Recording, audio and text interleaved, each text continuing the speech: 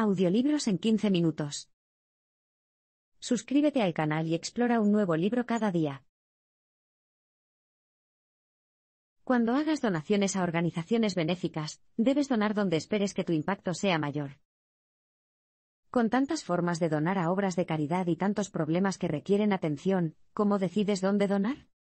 La respuesta está en introducir esta sencilla fórmula, ¿cuántas personas se beneficiarán de tu donación caritativa y en qué medida?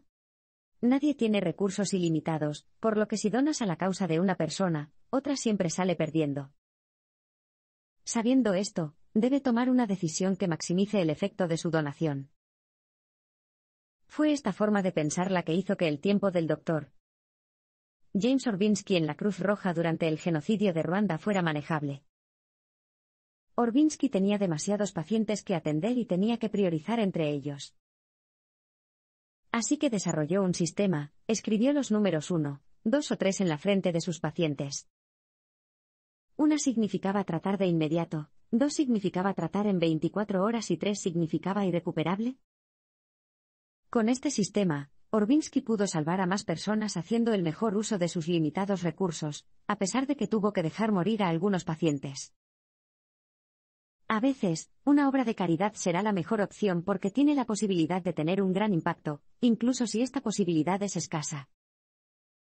Para determinar si este es el curso de acción correcto, primero debe comparar el valor esperado de las opciones.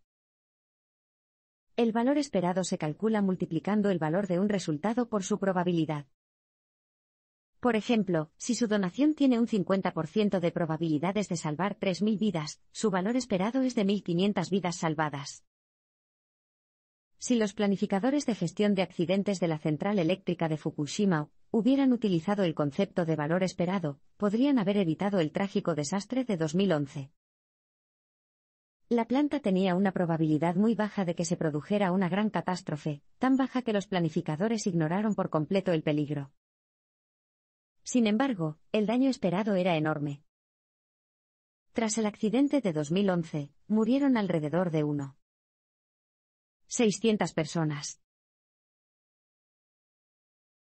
Dada la ley de los rendimientos decrecientes, no des a causas que ya reciben mucho dinero. Las organizaciones caritativas, como los fondos de ayuda en casos de desastre, parecen necesitar toda la ayuda posible. Es obvio, ¿verdad? ¿Más dinero seguramente equivale a más ayuda? Sin embargo, este no es necesariamente el caso. Las donaciones caritativas, como la mayoría de las iniciativas económicas, están sujetas a la ley de los rendimientos decrecientes, que establece que cuanto más de algo se agrega, menor será la diferencia con cada nueva adición. Para ilustrar esto, imagine que se ha quedado sin hogar, que no tiene suéteres y que el invierno se acerca rápidamente. Un suéter puede marcar una gran diferencia en tu vida, podría salvarte de la hipotermia. Si ya tienes un par de suéteres viejos, uno nuevo podría mantenerte un poco más abrigado. Sin duda, marcaría una diferencia en su vida, pero probablemente no salvaría vidas. Y si ya tienes varios suéteres, entonces un suéter adicional es algo extra que tienes que llevar contigo. Hará muy poca diferencia en su calidad de vida. Lo mismo se aplica a las donaciones caritativas, donde cada dólar adicional hace una diferencia menor que el anterior. Si bien tu donación de 100 dólares es solo una gota en el mar para una causa sobrefinanciada, marcará una gran diferencia para una causa que no cuenta con fondos suficientes o que se descuida. La ayuda en casos de desastre es un tipo de donación caritativa que suele recibir una amplia publicidad y atrae muchas donaciones. Por ejemplo, las organizaciones de ayuda recibieron 330 000 dólares en donaciones por cada persona que murió en el terremoto de Japón en 2011. En otras palabras, la ayuda en casos de desastre tiende a estar sobrefinanciada. Dada la ley de devoluciones decrecientes, donar a las organizaciones de ayuda en casos de desastre no supondrá una gran diferencia. Por otro lado, las causas actuales relacionadas con la pobreza suelen pasarse por alto. Por cada muerte relacionada con la pobreza, las organizaciones de ayuda reciben solo 15.000 dólares. Si destinaras lo que pretendes donar a las organizaciones de ayuda en casos de desastre y, en cambio, lo destinaras a causas relacionadas con la pobreza, como la lucha contra la malaria, tu dinero iría mucho más lejos. Lograr el mayor impacto significa averiguar dónde puedes marcar la mayor diferencia. Muchos jóvenes viajan al mundo en desarrollo para construir hospitales y escuelas, y la mayoría de nosotros pensamos que esta es una causa bastante buena. Después de todo, si queremos hacer el bien, ¿no es mejor ofrecer nuestro tiempo, en lugar de solo nuestro dinero? ¿Trabajar directamente para una organización? No necesariamente. Al evaluar la contribución que realmente estás haciendo, debes pensar en lo que habría sucedido de otro modo mediante una práctica científica llamada evaluar la contrafáctica. Para ilustrar esto, imagine ver a un hombre ahogándose hasta morir. No hay nadie más cerca, así que corres para hacerle la maniobra de Heimlich. Si bien logras aclararle la garganta y salvarle la vida, tu inexperiencia en primeros auxilios lo ha dejado con las cuerdas vocales permanentemente dañadas. Pero, ¿qué habría ocurrido de otro modo? Probablemente habría muerto, así que tu acción fue buena en última instancia, a pesar de las consecuencias negativas no deseadas. Imagina, en cambio, que hubiera un paramédico entrenado en el lugar de los hechos, pero que querías sentirte como un héroe e intervinieras, salvando de nuevo la vida del hombre, pero dañando permanentemente su voz en el proceso. ¿Qué habría pasado si no fuera así? El paramédico le habría salvado la vida sin causarle ningún daño permanente. En este caso, tu acción no fue tan buena. Si quieres lograr el mayor impacto, necesitas desarrollar las habilidades necesarias para hacerlo. Irte corriendo a África a construir escuelas es inútil si no sabes nada sobre la construcción. Sin embargo, podría haber un constructor local que pudiera construir la escuela con el dinero de los donantes, ayudando así a la economía en general. Vale la pena tener esto en cuenta al pensar en todas las opciones profesionales. Pregúntese, ¿podría otra persona hacer mejor el trabajo que estoy haciendo? Si la respuesta es sí, entonces una mejor opción sería seguir una carrera lucrativa que se adapte a sus habilidades, tal vez incluso como banquero o corredor de bolsa, a fin de sustituir la acción directa por la posibilidad de hacer grandes contribuciones monetarias. De esta manera, puedes ganar para dar, un principio del que hablaremos en el próximo parpadeo. Ahora que tiene las herramientas teóricas necesarias para tomar las mejores decisiones caritativas, los siguientes parpadeos mostrarán cómo se pueden utilizar estas herramientas en situaciones de la vida real. Trabajar para una ONG o seguir tu pasión puede no ser la mejor opción profesional. ¿Cómo eliges una carrera que tendrá el mayor impacto positivo en el mundo? Estos son algunos consejos sencillos para hacerlo realidad. Una forma es ganar para dar. Por ejemplo, supongamos que eres médico y tienes que elegir entre trabajar para una ONG o especializarte en oncología. Trabajar para una ONG te permitiría impactar directamente en la vida de las personas, pero, ¿qué pasaría si eligieras el otro camino?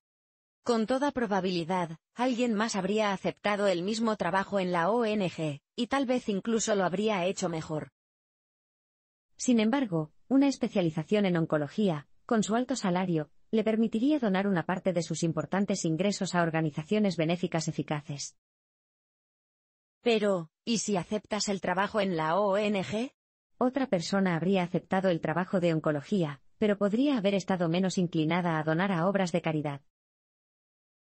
Un trabajo bien remunerado le brinda la oportunidad de marcar la diferencia al donar grandes sumas y, al mismo tiempo, ganar un salario cómodo.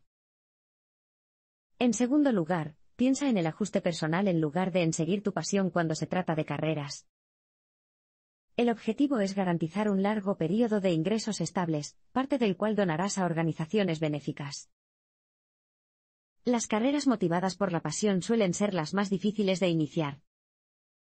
En la música y los deportes, por ejemplo, solo los pocos más talentosos, o afortunados, se ganan la vida de manera estable.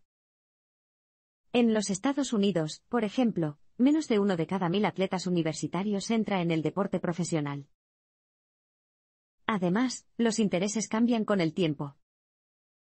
Piénsalo, ¿tienes los mismos intereses hoy que tenías hace 10 años? Encontrar un buen ajuste personal significa considerar en qué medida el trabajo te ofrece independencia, variedad y una sensación de realización. La carpintería, por ejemplo, ofrece una gran sensación de finalización, ya que contribuye a crear un producto acabado y tangible. Lo que realmente hace una organización benéfica es mucho más relevante que cuánto gasta en gastos administrativos y salarios. Cuando las personas deciden dónde hacer una donación caritativa, suelen examinar los gastos generales de la organización benéfica, especialmente los salarios de los ejecutivos, para ver si el dinero va a parar a los necesitados o a los bolsillos de los ejecutivos adinerados. Charity Navigator, el asesor de organizaciones benéficas más antiguo y popular, con 6,2 millones de visitas en 2012, clasifica a las organizaciones benéficas según la cantidad de sus donaciones totales que se destinan directamente a sus programas principales. Sin embargo, este enfoque es engañoso, ya que los gastos generales y gastos similares no nos dicen mucho sobre una organización benéfica. Imagina que has creado una organización benéfica que ofrece caviar a banqueros hambrientos. Solo el 0,1% de las donaciones se destina a gastos generales, y el resto se destina a la adquisición y entrega de caviar. Al ser el generoso CEO que eres, tampoco ganas ningún salario. Según organizaciones como Charity Navigator, tu organización benéfica tendría una clasificación de primer nivel. Lo que importa no es cómo se asigna el dinero. Es lo que realmente hace la organización benéfica, su impacto, lo que determina si merece nuestro dinero. Tomemos como ejemplo a la organización benéfica Development Media International, DMI. Gastan el 44% de sus donaciones en gastos generales, así que si eso es lo único que te importa, probablemente no reciban tu donación.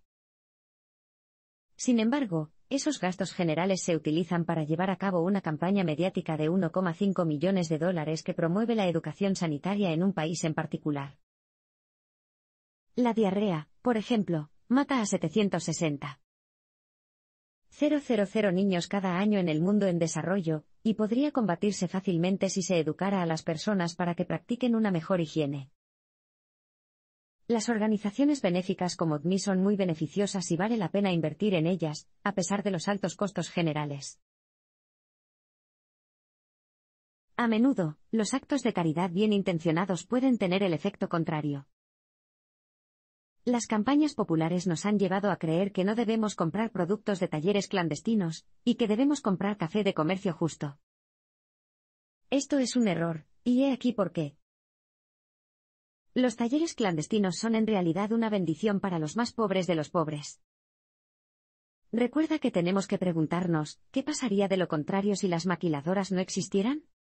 En los países en desarrollo, la naturaleza agotadora y tediosa y los bajos salarios del trabajo en las fábricas son preferibles a los trabajos agrícolas mal pagados, y agotadores que se encuentran bajo un sol abrasador. Por ejemplo, muchos bolivianos emigran a Brasil de manera ilegal, con el riesgo de ser deportados, para buscar salarios más altos en las maquiladoras.